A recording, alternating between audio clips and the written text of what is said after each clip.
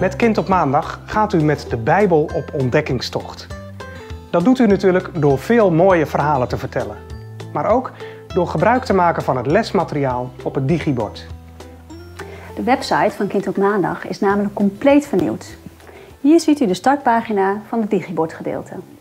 U ziet hier de koffer van het lopende nummer. En gaat u naar het pijltje hieronder, dan kunt u naar de volgende periode gaan. Ook vindt u hier de oude brief, een overzicht van deze periode en de posterjaarkalender. Maar wij gaan naar het lesmateriaal. En als u dat doet, kiest u eerst voor de groep waar u zijn moet. En vervolgens kiest u op lesmateriaal. U komt dan automatisch uit bij het materiaal van de actuele lesweek. En wilt u toch een andere lesweek bekijken, dan klikt u een van de blokjes hier in de rechter kolom aan van de lesweek naar keuze. En dan vindt u voor elke week ontzettend veel nieuw lesmateriaal. En het begint eigenlijk elke week met de thematekening. Klik daar even op, zodat u een mooi schermvullend in beeld krijgt om met de kinderen te bekijken. En elke week is er zo een illustratie die al iets zegt over het Bijbelverhaal van die week. Herkenbaar, Erik, wat je hier ziet? Ehm, nou, dit is een meisje dat iets vertelt en een vader die niet luistert. Dus nee, dat herken ik totaal niet. Nee, nee. Als mijn dochters thuis iets vertellen, dan uh, ben ik echt een en al oor. Leg ik alles aan de kant? Ja, ja. Bijna altijd.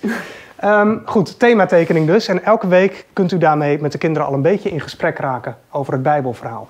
Kijkt u ook even naar het weekoverzicht per week. Dan ziet u in één oogopslag wat er die week allemaal aan de orde is. Niet alleen in uw eigen groep, maar ook in de andere groepen. U kunt hier ook gemakkelijk de werkbladen van een lesweek bekijken. Die staan ook in het blad, maar u kunt ze vanaf de website heel gemakkelijk direct printen.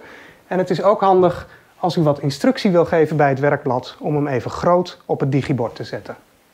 Ook vindt u elke week een stelling. Daar kunt u met de groep over discussiëren. De stelling van deze week vindt u hier. Als een land een slechte leider heeft, hoeft het volk zich niet aan de regels te houden. Wat vinden kinderen daarvan? Wat vind jij ervan, Erik? Ehm, ja, eh, nou ja, ik vind het wel lastig.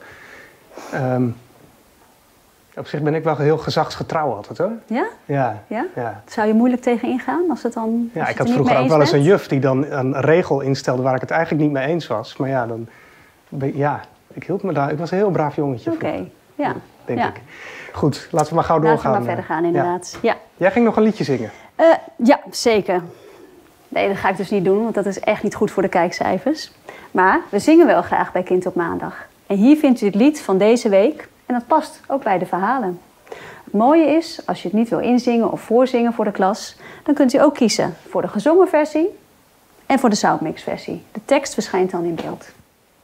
En is er nou een lied dat u of de kinderen erg leuk vinden en nog eens terug willen horen? Dat kan. In het muziekarchief vindt u alle liedjes terug. Dan gaat u even terug naar de startpagina en dan klikt u hier op muziekarchief.